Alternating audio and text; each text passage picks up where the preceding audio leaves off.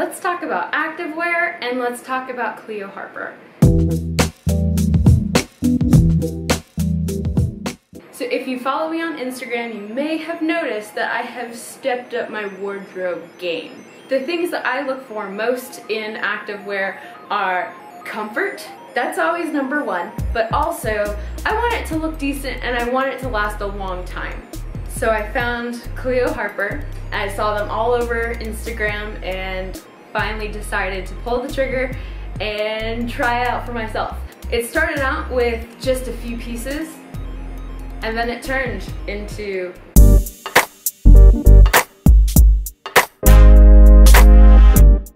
some more. Alex, sorry when you see this video because you probably had no idea I had this little mini collection. Oops.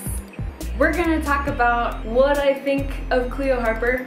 Obviously it's a positive, so if you don't want to stick around to the end, I recommend them.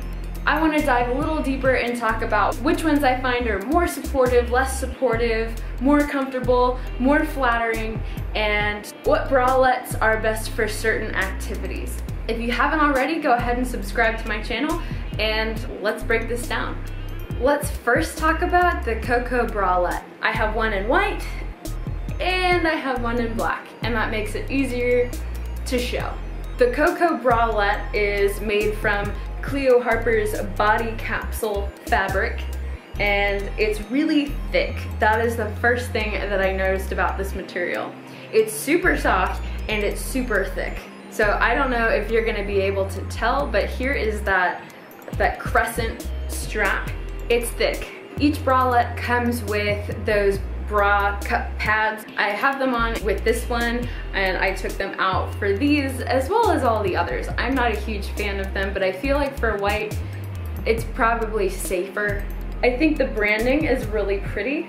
I do notice that with this little gold emblem, whatever you wanna call it, it doesn't feel great when you do any sort of workout that's on your back or yoga. The biggest thing that I would say for the Coco bralette is it's probably not the best idea to go upside down. There could be some under boob issues happening, especially if you don't get the right size. I wear a size small and everything but one bralette, and I will get to that later. It does say online that you can swim with this body capsule material on. I think this bralette is really great for leg day, arm day, basically anything where you're not gonna be lying on your back and you're not gonna be upside down.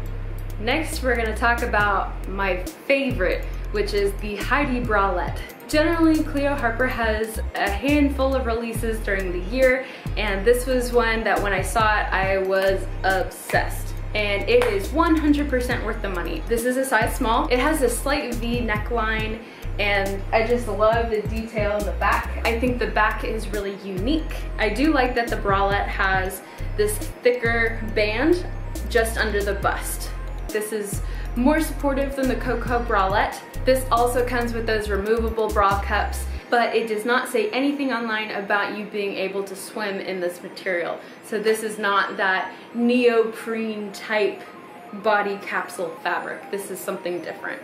The one thing that I do notice, and I think it really just depends on your proportions, is the back can feel a little bit loose. It honestly does not bother me at all.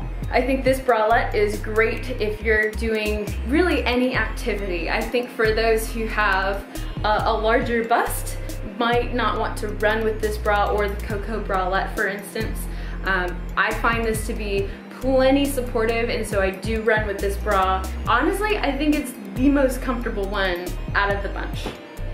Let's move on to the next one. This is the Liberty bralette. I feel like a sailor, but I feel like a cute sailor, so it's okay. The biggest thing that I notice about this bralette is that it is super supportive and yet it's still cute. So the Liberty bra is more supportive than the Heidi and the Coco bralette. These are both smalls, so I, I like that this also, like the Heidi, has a thick waistband underneath waistband. This has a thick band underneath the bust and let's check out the back. They have the removable bra cups. The Liberty bra also has good coverage and I do like the wide straps. However, it does not say anything on their website about swimming in this, so I would not recommend that. This is definitely a go-to bra for running. This feels a little close. It doesn't bother me, but I do notice it. If you have lats, keep that in mind. This is the Indy Bralette from their newest collection.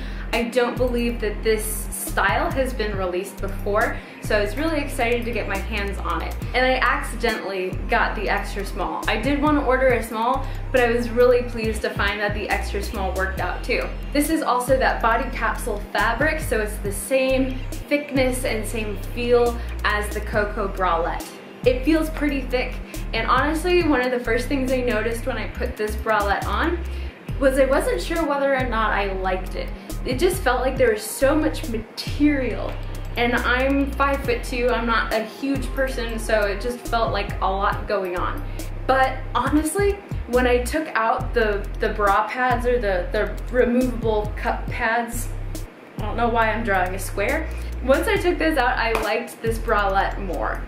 One more thing that I'm not a huge fan of with this bralette is this line of fabric right here. Like, I understand what they're kind of trying to do and cover up, but I just feel like it kind of bunches and it's just like a little awkward. I do like these side cutouts. Again, if you got the wrong size, I could definitely see some uh, poking out issues happening here. There's that wide band below the bust, and I love this neckline. I think it's really pretty, and I love the color. I am sure that this is going to be another staple in the Cleo Harper collection. I feel like this one is safe to go upside down and do yoga, handstands, like whatever the heck you do, but this is not my go-to bralette. I do think the back is very elegant and pretty. Let's talk about prices really quick. All the prices that I'm going to list are in US dollars. So the Coco bralette is 51 the Indy Bralette is also 51. The Liberty Bralette and the Heidi Bralette are $44. That's all I got today, but I hope you found this helpful. Let me know in the comments below what your favorite piece is. Please give this video a thumbs up if you enjoyed or found it useful, and don't forget to subscribe to my channel. Thanks, bye everyone!